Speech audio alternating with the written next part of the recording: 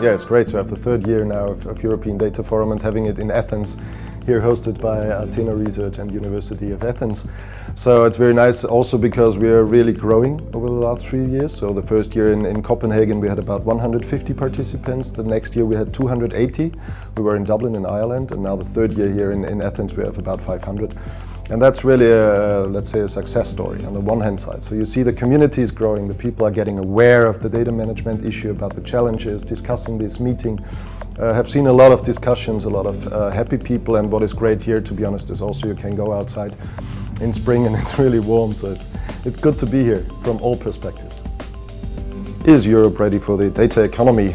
Um, I think it's a half-half answer. So on the one hand side, we're doing a lot of things that uh, Europe, Europe gets ready for the data economy and for big data.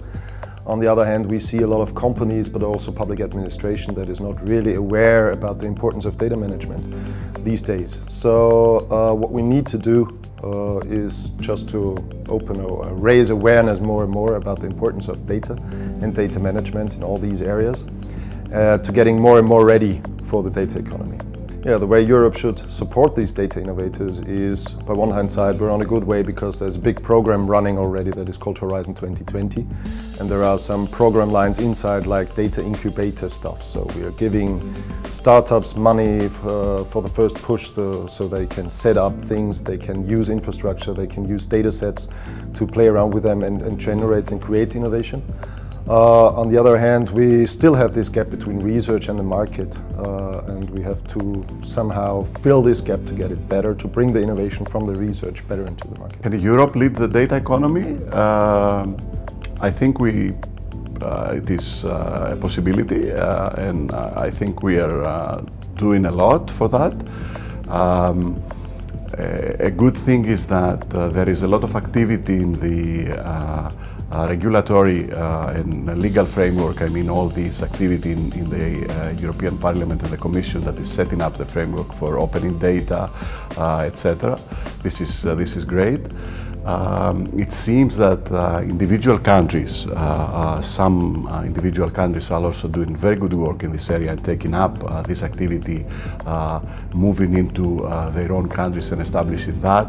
Then we have public administrations like the city of Vienna, for example, where we had the, um, their CIO being given a prize in, in the EDF, seems to have a great activity in this area.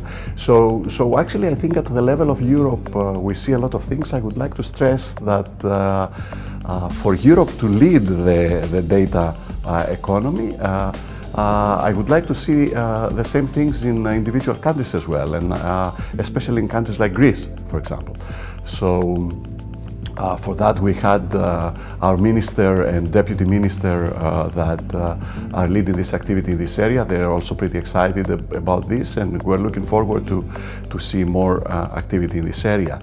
Another important, uh, I think, issue for Europe to lead the data economy would be to concentrate in sectors where we're very strong. Uh, from my own experience, I can see that um, uh, the space and the geospatial data sector, for example, uh, it seems that we already have champions there and uh, we can have more. Uh, of course, we need to support small companies, SMEs, that would carry out this work. We don't need to only work with the big guys. Um, and then training, training the talent that we have in Europe, in all countries, not just the big ones uh, is, uh, is an issue. I mean, coming up with new programs in, let's say, data science. Uh, this is the job of academics like us, for example, to, uh, to do it uh, maybe together with companies. Uh, and then I'm, I'm sure we can be positive.